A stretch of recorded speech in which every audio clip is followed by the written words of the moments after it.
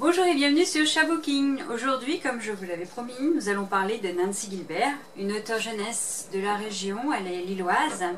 Et je l'avais rencontrée l'année dernière, j'étais allée la chercher à Douai à l'occasion du Salon du Livre Jeunesse. Elle était venue faire quelques interventions dans les classes de Bussy et Barral. Ce fut un vrai moment de bonheur pour les enfants d'avoir une auteure là, vraiment sur place. En plus, elle n'était pas venue les mains vides, cette petite fée qui rend le monde meilleur avec ses écrits. Elle était venue avec des crayonnés de la couverture des chats masqués pour leur montrer les étapes, les différentes étapes du, dessin d'une couverture jusqu'au choix final. Donc ça c'était vraiment, vraiment super. Ils ont appris énormément de choses, ils ont pu lui poser plein plein de questions. Alors les enfants croyaient qu'elle dessinait, qu'elle écrivait qu'elle imprimait et qu'elle vendait tous les livres depuis chez elle, ou alors qu'elle l'écrivait dans une usine.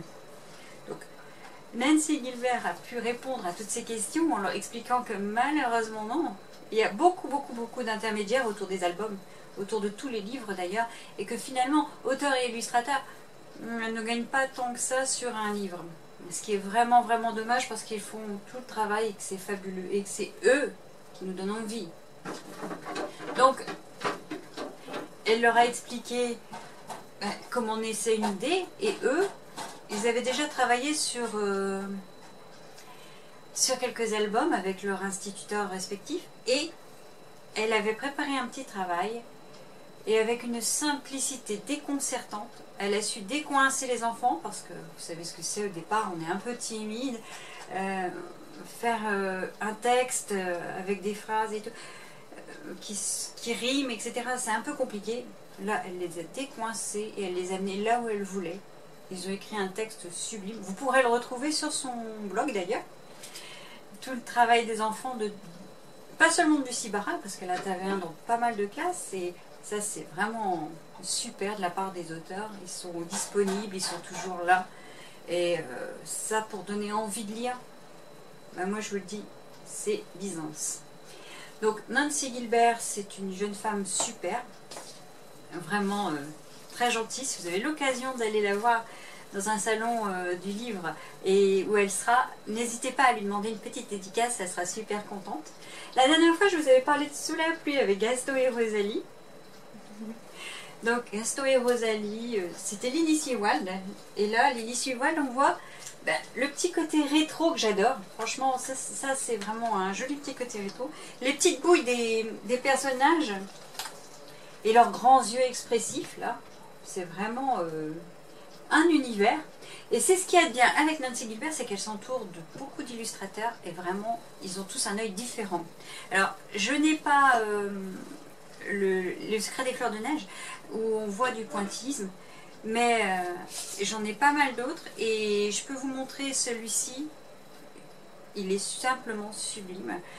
Nancy Gilbert, les textes toujours, et Laure Philippon et Samuel Mandonneau pour le montage parce que vous allez voir, il y a un travail mais de dingue sur, cet album et, franchement, il est magnifique. Voilà. C'est quand même quelque chose, quoi. Je, écoutez, moi, j'adore parce que ça ressemble vraiment à un journal.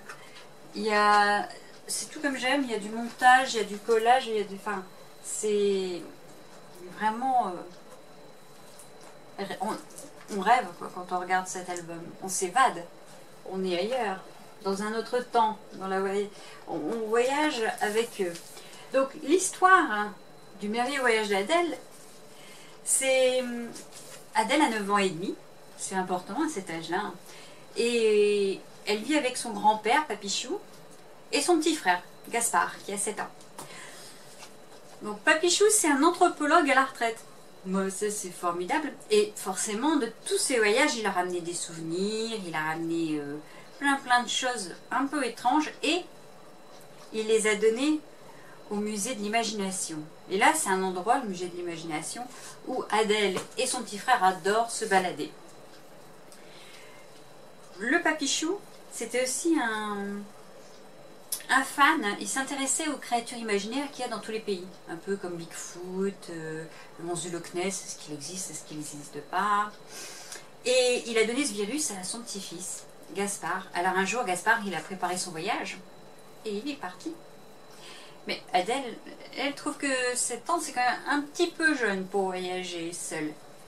Alors, elle décide de partir à sa recherche et elle prépare son, petit voyage plutôt son grand voyage. Ça va donner lieu à des visites de pays avec justement toutes ces créatures imaginaires, les sirènes, etc. Donc, est-ce que ça existe ou pas? Là, vos enfants vont adorer, parce que... Et vous aussi, vous allez pouvoir débattre avec eux. Alors, le monstre du Loch Ness, vous en pensez quoi, hein, finalement Donc, celui-là, c'est peut-être, je pense, mon préféré. Mais bon, je les ai pas tous, donc euh, peut-être qu'il y en a d'autres. Mais il en fait partie de mes préférés. Ensuite, un autre genre, c'est aussi un journal, c'est le journal de bord d'un chasseur de dinosaures. le journal de bord d'un chasseur de dinosaures, c'est l'histoire d'Artus. Artus, c'est un petit garçon dont la chambre est toujours un peu euh, en pagaille. Mais c'est pas de sa faute, non? C'est de la faute d'un vilain dinosaure qui vient sans arrêt euh, mettre le souk dans sa chambre. Alors, forcément, euh, ça ne lui plaît pas trop. Mais il a une idée. Avec Tom le rusé, son pote, ils vont imaginer un tas de stratagèmes pour capturer ce fameux dinosaure. Ha ha Mais alors, que vont-ils découvrir au fur et à mesure en essayant de capturer ce dinosaure? Comment papa et maman euh, vont le prendre? Vous verrez cela en lisant. Et là, je peux vous assurer que vous ferez un carton avec vos enfants. C'est pareil. Les illustrations, cette fois, c'est Séverine Duchesne. Et oui, autre univers. Vous voyez, on a là déjà trois univers complètement différents. Là, les dessins sont vraiment euh, très colorés, très gays, très Pepsi. C'est adorable, mais c'est autre chose. C'est ce qui est fantastique. Et Séverine Duchesne, elle a aussi travaillé avec Nancy Gilbert sur la série des chats masqués. Alors moi, j'ai les bijoux volés, mais les chats masqués SOS Fantôme, on, l'avait acheté parce qu'en plus, elle nous l'a dédicacé. Enfin, non, pas à moi. Hein. À mon mari, à sa classe. Là, vous verriez une petite dédicace si vous le voyez un jour ce livre. Et eh ben, vous saurez que le monsieur dedans, c'est mon mari. et il est super fier parce que franchement, c'est une super attention parce que les enfants ont vraiment passé un moment magique avec elle. Donc, euh, alors les chats masqués, vous voyez, vous reconnaissez un peu la touche de Séverine. Voilà. C'est Pepsi, toujours coloré, euh, tout en rondeur. C'est un peu, un peu crayon, vous voyez Alors, il y a Chapiteau, Chafoufou et Charivari, les trois chats masqués, qui luttent contre le crime. Et ce qui est adorable dans ce livre, c'est qu'à chaque page, il y a des petites, des petites énigmes à résoudre. Et ça, c'est interactif. Il y a de nombreux albums chez euh, Nancy Gilbert où euh, vraiment c'est interactif. Alors ça, ben, forcément, c'est quand on sait lire, c'est super. Puis quand on ne sait pas trop bien lire, bah, avec papa et maman, pour s'amuser, c'est vraiment génial. Moi, je, privilégie les moments de lecture en famille. C'est toujours agréable. Ça laisse de bons souvenirs. Donc, voilà.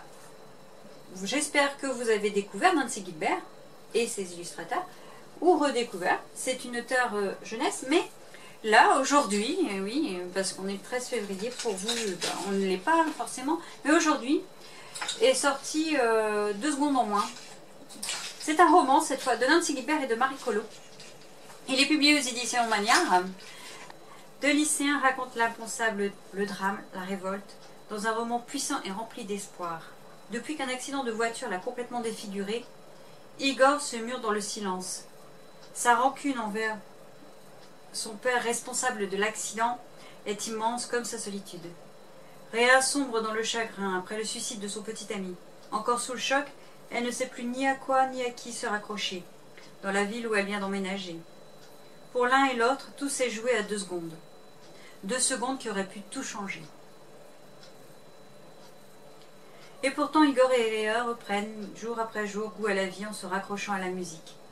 Une fantaisie de Schubert et un professeur de piano pas comme les autres vont les réunir et les mener sur un chemin inespéré. Voilà, c'est une découverte encore une fois, je vous dis, si vous le trouvez avant moi, eh bien n'hésitez pas, mettez-moi un petit commentaire.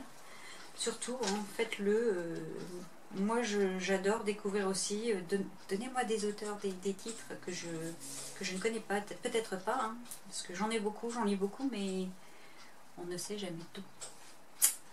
Et moi, j'adore. Alors, si je partage, j'aime bien aussi qu'on partage avec moi. Donc, euh, n'hésitez pas. Abonnez-vous à la chaîne aussi, ça me ferait plaisir. Et puis, euh, moi, je vous dis à très bientôt. La semaine prochaine, j'espère, pour une nouvelle découverte. Alors, cette fois, ce sera ni un roman, ni un, album pour enfants.